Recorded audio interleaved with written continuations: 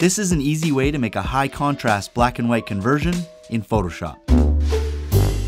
All right, so once your image is open, obviously the first thing we're gonna do is turn your image black and white. And the method we're gonna use is with a gradient map adjustment layer. So just go down to this little half circle thing, click on it, and go to gradient map. It's gonna do this funky thing to your image. Just go up here where there's this gradient and click on it. If you don't see it under properties, just go to window and then down to properties right here. So then just click on this gradient, which is gonna open up the gradient editor go into basics, this little drop down, and click this first one that goes from black to white. Click on it, and that's going to immediately create a very high contrast black and white image. If you don't have this one, then just click on any one. So I'm just going to click on this one, for example, and then just click here, click here, slide to black, click OK. Then over here, click here, click here, and slide to white. Click OK. Now, since we're creating a high contrast black and white conversion, I would also suggest sliding these two boxes in to whatever degree you think makes sense. So I'm going to slide mine in. You can see this is brightening up my brights. So I'm going to go to about there. And then this one will darken my darks. So You can make it even more contrasty if you want. And then this thing right here, adjust your midtones. So going this way will darken your midtones.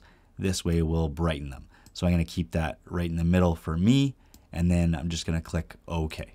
Next, we're going to add another adjustment layer. So click back on your main image, go down the little half circle thing, and click on black and white this time. Even though our image is already black and white, this just allows us to adjust the tones of the image based on the colors of the original image. But we're actually going to click on auto to start, not the default one. So click on auto. And then you're just going to play around with these sliders until you get kind of the look that you want. Just be careful if you slide anything too much, so I'm going to show you with cyans here, just look in her shirt right down here. You can see as I cranked cyans, it you know, the image can kind of fall apart if you go too far one way or the other. So I would suggest before you slide anything, just remember what the original number is. So for blues, it's 20. So if I slide and you start going, oh, none of that looks good, then just go back to 20 and you should be good. And just so you know, you can use this hand thing right here too. So if you click on it, it allows you to click on part of the image. So if I click here, you can see that that activates the reds. And if I slide to the right or left, that allows me to control the brightness of that tone, of that range of color within the image. So you can do it that way as well. But if you find yourself wanting more control over just a part of the image, like let's say her lips, my suggestion would be to hide those two, go back to the main background image, click on little half circle thing, and this time add hue saturation. And then with this hand, click on it, click on the thing that you want to adjust, the color that you want to adjust. So I clicked on the lips. You can see it activated this little range of color right here. And now what happens if I slide the hue, just so we can really see what it's doing, you can see that it's changing red to blue, but I'm just doing this so I can really see what it's affecting. So I'm actually going to close the range down a little bit. So slide these in. Then I'm going to click in the middle and just slide around until I'm really just getting the lips or, you know, mostly just the lips. You can even slide these in to be closer, you know, do whatever you got to do to kind of hone in on just the lips. So I'm to maybe slide this over. So that looks pretty good for me right there. I'm going to slide this back to the middle because we're not actually adjusting the hue, we're actually adjusting the lightness now. But before we can see what it's actually doing to our image, we need to reactivate black and white and gradient map. So now when we slide lightness to the left, you can see that it's darkening the lips. And when you slide it to the right, it's brightening them. So this is a really good way to control a specific color and area of your image based on what you have right here. Just take note that Right now it's activated on reds because that's what we picked. So if you click somewhere else and then you try and go back by clicking on the little icon to actually edit, it's going to go back to master. So make sure to click in here and switch it back to the color that you had. For me, it was reds. So I'm going to go to about, let's say 24 or so right there. I think that looks pretty good. Just be aware that if I click this eyeball, it's also impacting other parts of your image that are contained within this red's range of color here. So if you want that, if it looks good to you, then just leave it. If not, if you just want it to impact the lips, like the area that you were trying to control, then click on your mask, go Command or Control I to invert it to be a black mask. Then go to your brush, make sure it's a white brush. So click here and go to white if you need to. Click OK. Go up to the size here and make it so it's appropriate to paint on the area that you want. So for me, a little bit smaller so I can get into the lips. And then for hardness, make sure you drop it way down and you can have opacity and flow at 100. So I'm going to zoom in here and then just paint over the area. Now that's not dark enough for me to see, so I'm going to go back in here, switch it to reds and really darken it so that now when I'm on the mask and I paint, I can really see what is changing. So once you have the area that you want affected painted, then maybe go back in and, you know, I'm going to slide it back to, I had it about 24 or so. So that'll look pretty good. Now if I zoom out and click the eyeball, you can see that it's only impacting the lips now, not the rest of that stuff because where this white is, that's where the lips are, and that's the only part that's being affected now. Anything in black is not being affected anymore. All right, next we're going to identify any areas that we want to enhance or stand out in terms of brightness. So in my case, it's really just the eyes that I probably want to stand out a little bit more. So now go to your very top one, go back to the gradient map, go back to your adjustment layers, and this time pick curves. And really all we have to do is click near the middle and drag it up to kind of brighten. Just ignore everything else but how the eyes are looking. So I kind of like that. You could even go a little bit extra if you want because we can tone it back with opacity later. I might even click up here now and, you know, bump that just a little bit to add a little more contrast within that eye. So this one kind of went up a little bit and then I bumped this one just a little bit more. And then again, we're going to click on it, go Command or Control I to invert it, go back to our brush that's white and similar thing, hardness way down and size that's appropriate, and then just paint in the area that you want to stand out. So you can see that makes the eyes pop out. The only thing you might have to do is then flick this back to black to paint around the outside, like around the eyelids and kind of the under eye areas, because you might not want them to stand out in the same way that the actual eyeball does. Okay, so if I now click this eyeball right here, you can see that was before and this is after, but I would always suggest zooming out before you make the kind of final call on how you think the eyes look. So now I'm gonna click away and click back. So that's maybe a little bit too strong. So again, I can just go to opacity and slide it down until I get the level that I like. So somewhere around 60, 65% looks pretty good to me.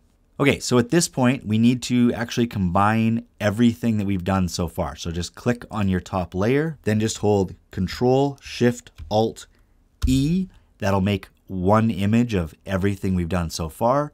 Then just right click, go up to Convert to Smart Object, and then have to filter and down to camera raw filter. Now, everything we're gonna do in here is under basic, so just drop that down.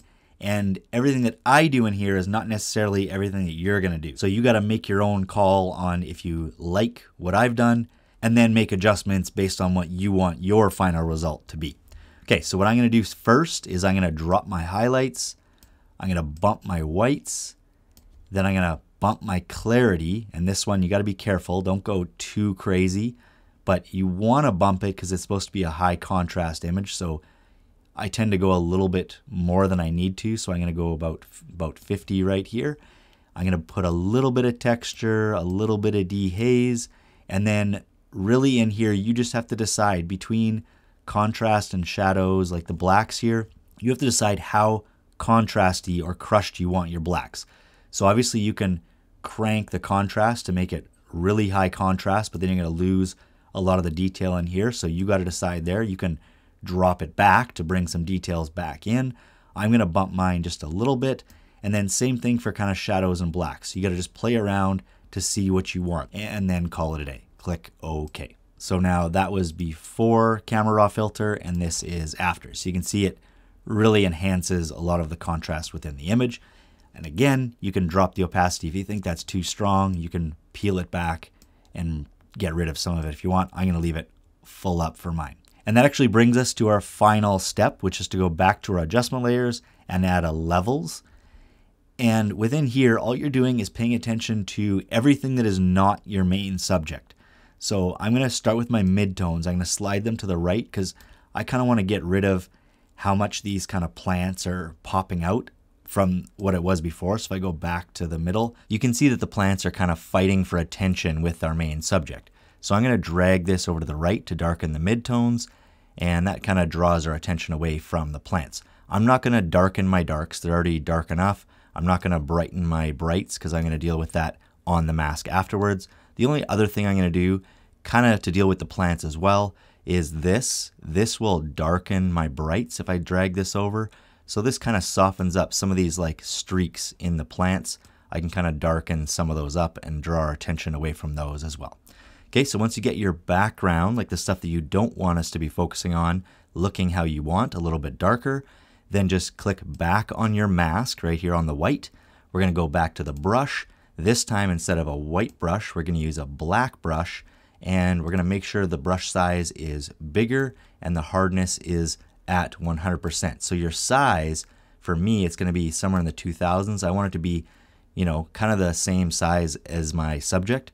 And then all you're gonna do is click once to kind of dab and you're gonna make a circle. So if you see on the mask here, there's just a solid black circle. Then all we have to do is go Command or Control T, right click in there and go to distort and then just size this circle, change it into like an oval that covers your subject. So I'm going to go to about like that. That covers everything that I want. I might even slide this up. I don't need everything down there. Once you're good, click check.